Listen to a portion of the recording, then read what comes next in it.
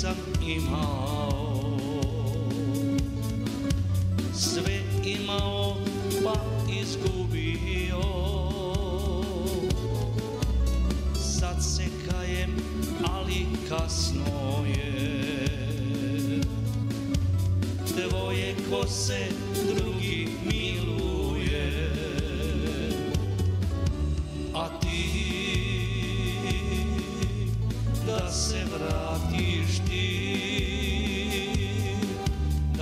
Jednom ja te vidim Da me barem na tren zagrliš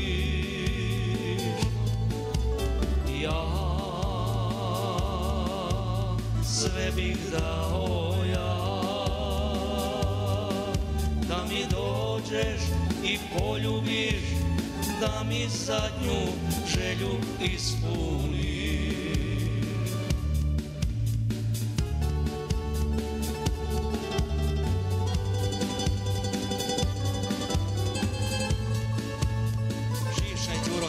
veselo Za narodnjake veseljake Za sve prijatelje dobre volje.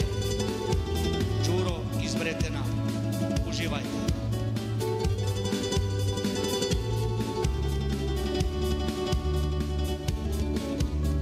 Otkad više nisi kraj mene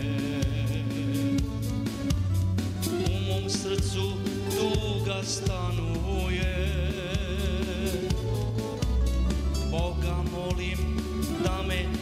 pozove Što će meni život bez tebe? A ti da se vratiš ti Da još jednom ja te vidim Da me barem na tren zagrliš